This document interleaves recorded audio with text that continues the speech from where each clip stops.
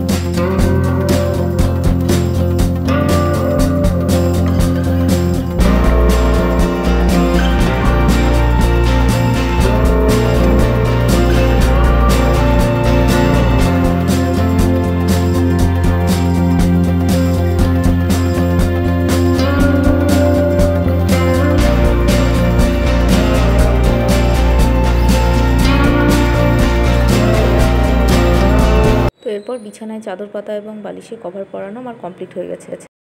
তো চলো এরপর ব্রেকফাস্ট করে আসি তারপরে স্নান করব তারপরে তোমাদের সাথে আবার কথা হচ্ছে। তো এখনকার মতো বা বাই আর ছেলেকেও এখন করছে পড়ছে তো ওকেও এখন ব্রেকফাস্ট করিয়ে নেব।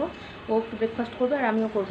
ব্রেকফাস্ট সেরে এবং স্নান করে চলে এসেছি ছাদে জামা কাপড়গুলো মেলে দেবো।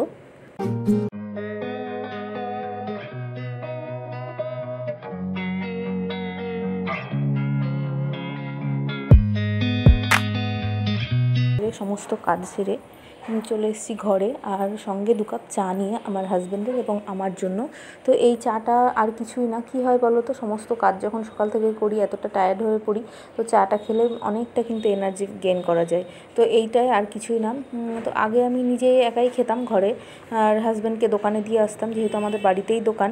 তো এখন তো ওদের দশটার মধ্যে দোকান বন্ধ হয়ে যায় কারণ লকডাউনের জন্য।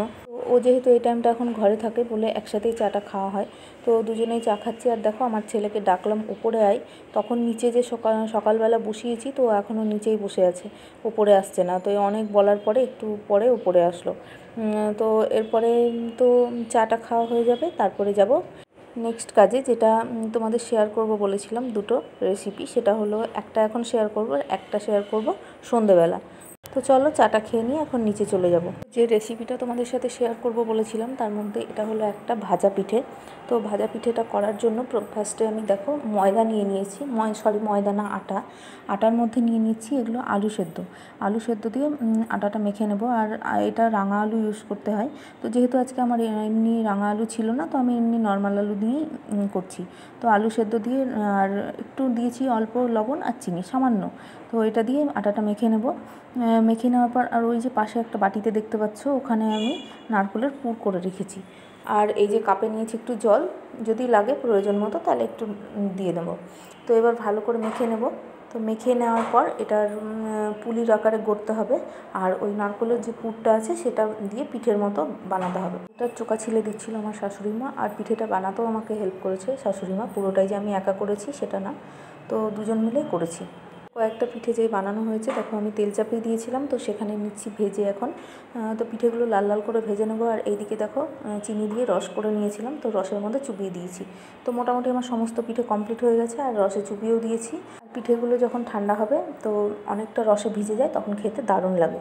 তো তোমরা বাড়িতে অবশ্যই রেসিপিটা ট্রাই করো, আর কেমন লাগল আমাকে অবশ্যই জানিও। এটা কিন্তু আমার মায়ের থেকে শেখা। পিঠে বানানোর পর চলে এসেছি ছাদে। তো ছাদে এসে দেখতেই পাচ্ছ আমার হাজব্যান্ড আমাকে হেল্প করছে। মানে আজকে বালিশগুলো সমস্ত রৌদ্রে দিয়েছিলাম। তো ও একটু নিচে নিয়ে যাচ্ছে। তো ওর ভিডিওটা করেছি বলে লজ্জা পাচ্ছে। তো আমার ছেলেও চলে এসছে সাথে সাথে আমার। তো এরপর বালিশগুলো ও কিছুটা নিয়ে গেছে। কিছুটা না সরি পুরোটাই বালিশ নিয়ে গেছে। আর আমি এরপরে জামা কাপড়গুলোও তুলে নেব। তারপরে নিচে চলে যাব।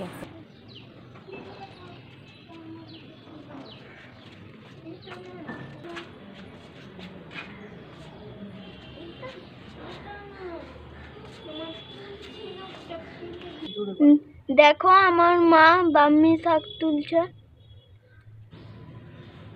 কার জন্য বলো? আমার জন্য। বলো আমাদের গাছের ব্রাহ্মী শাক হয়েছে। এটা আমাদের গাছের বাম্মি শাক হয়েছে। সেগুলো ভালো করে কথা বলো। সুন্দর টোন এগুলো আমার জন্য তুলছে মা। বলো তো এটা কী দিয়ে রান্না করে দিই তোমাকে? এটা ঘি দিয়ে রান্না করে দাও। এরপরে দেখতেই পাচ্ছ ছাদ থেকে এখন ঘরে চলে এসেছি আর এসে জামা কাপড়গুলো গুছিয়ে নিচ্ছি। আর ছাদে যে দেখতে পেলে ব্রাহ্মী শাক, তো ছেলের জন্যই ওটা তোলা। তো ওকে আমি মাঝে মধ্যে ওই রকম আমাদের গাছে যে হয়, একটু একটু যখন বড় হয় তখন তখন তুলে তুলে ওকে ঘি দিয়ে একটু ভেজে দিই। তো ও খেতে মোটামুটি ভালোই বাসে। তবে এই গাছগুলো অনেক দিন আগে আমার শ্বশুরমশাই শাক এনেছিল। তো সেটা থেকে আমি দুটো ছোট ছোট গাছ লাগিয়ে রেখেছিলাম। সেটা থেকেই এখন অনেকগুলো হয়ে গেছে। আর ব্রাহ্মী শাক নাকি খাওয়াও ভালো, তবে গাছে যেটুকু হয়, সেটুকু ছেলেরই হয় আমাদের সবার হয় না, কারণ টবে তো খুব বেশি হয় না, অল্প অল্পই হয়।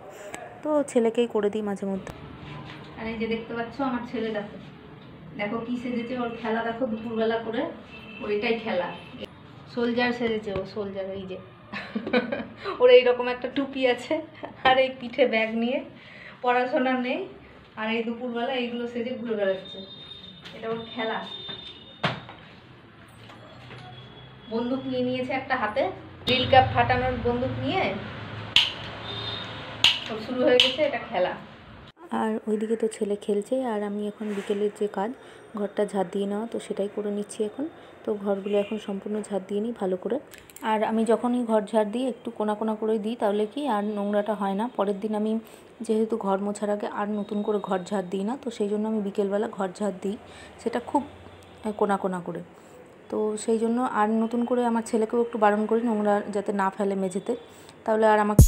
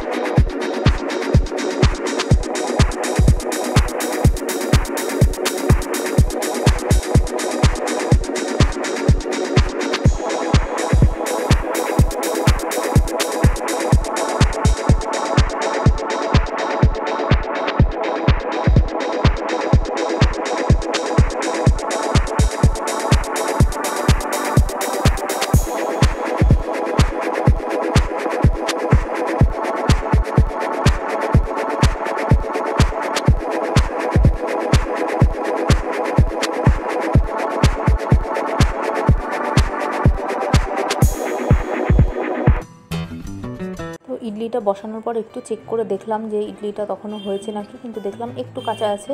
আর এইদিকে দেখো আমি আদা চা বসিয়ে দিয়েছি সন্ধ্যেবেলা প্রত্যেকের জন্য, আর ইডলিটাও সন্ধ্যেবেলায় আমি বানিয়ে রেখে দিচ্ছি। যেহেতু রাত্রেবেলা প্রচণ্ড মশার উৎপাত এবং খুব গরমও রান্নাঘরে, সেই জন্য আমি রাত্রে ডিনারটা তাড়াতাড়ি বানাই। আর এই যে দেখো তার কিছুক্ষণ পরে ইডলিটা এবার নামিয়ে নিয়েছি। আর ওদিকে আমার চা চা খাওয়া হয়ে গেছে। তো ইডলিটা দেখো, যেহেতু আমার তেল ব্রাশ করা ছিল, খুব সুন্দর ইডলিগুলো প্রত্যেকটা উঠেছে এবং খুব স্পঞ্জি হয়েছে। তো এইভাবে তোমরা বাড়িতে ট্রাই করো। আর ইডলির যে, আমি চাল আর ডালের মিশ্রণটা ভিজিয়েছিলাম, সেটা কিন্তু তিন কাপ চাল, এক কাপ বিউলি ডাল, এই হিসেবে। আর তাতে দু চা চামচ মেথি, গোটা মেথি। তাতে একটা, মেথির একটা সুন্দর গন্ধ, সেই ফ্লেভারটা কিন্তু ইডলির মধ্যে পাওয়া যায়। তো আমি এইভাবেই ভিজিয়ে থাকি। একসাথেই ভিজিয়ে দিই, একসাথেই বেটে নিই। আমি কিন্তু এটাই সহজভাবে, আমার এটাই সহজ মনে হয়, তো আমি এইভাবেই করি। তো এইভাবে দেখো প্রত্যেকটা ট্রে থেকে এবার ইডলিগুলো উঠিয়ে নেব। আর আমার ছেলে বলছিল একটু টিফিনেও খাবে। তো ওকেও দিয়ে দিলাম। আর ইডলির চাটনিটা আমি গতকাল বানিয়ে রেখেছি। তো সেই চাটনি দিয়ে আজকে ইডলিটা আমরা খেয়ে নেব। আর এই যে দেখো, আমার ছেলে খাচ্ছে ইডলিটা, ও খুব ভালোবাসে, ওর বাবাও খুব ভালোবাসে ইডলি খেতে। তো ইডলি আর চাটনি দিয়ে ও তো যেদিন ইডলি করি সেদিন রাত্রে খায় এবং পরের দিন ব্রেকফাস্টেও খায়। ও বলে যে, আমার জন্য একটু রেখে দেবে মা। তো ও খেতে খুব ভালোবাসে ইডলিটা। তো ও খাক। ওর জন্যই বিশেষত করা। অনেক দিন থেকে বায়না করছিল যে, ইডলি কবে করবে কবে করবে? তো সেই জন্যই ভাবলাম করা যাক।